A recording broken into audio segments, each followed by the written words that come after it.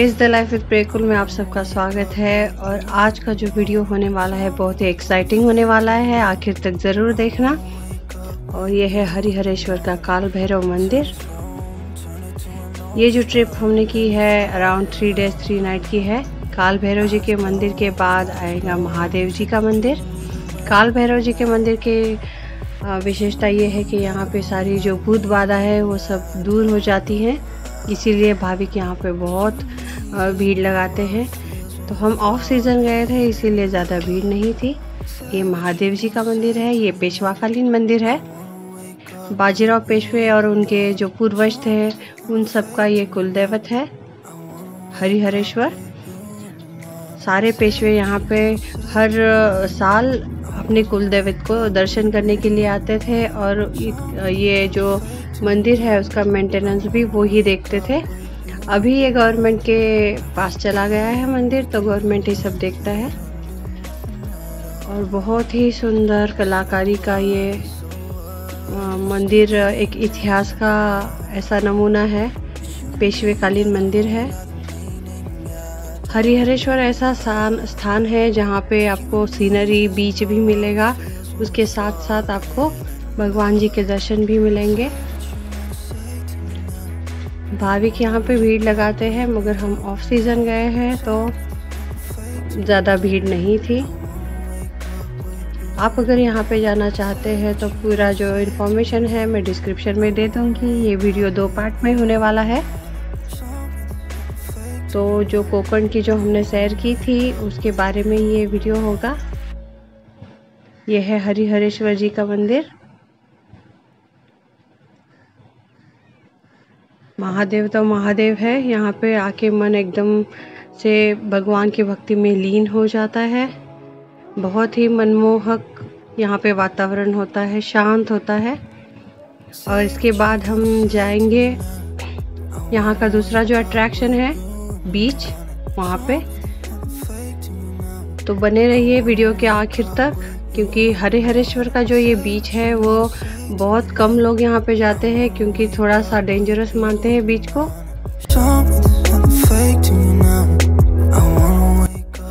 पानी के अंदर उतरने के बजाय लोग किनारे पे बैठ के ही समुंदर का ये जो नज़ारा एंजॉय करते हैं। और ऐसे ही आप भी कीजिए।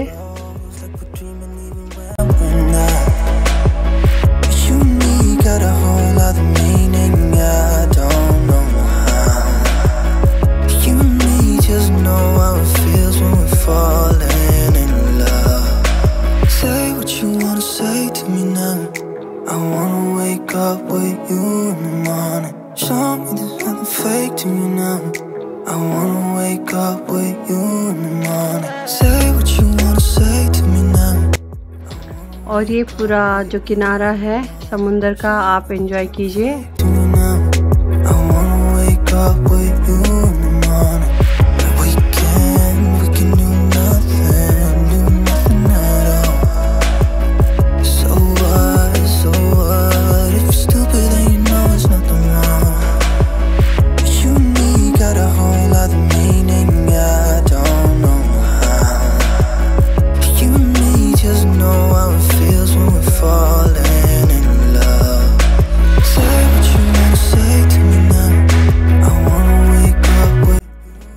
और एक सेल्फी पॉइंट बोल के है, थोड़ा सा आगे जाने के बाद।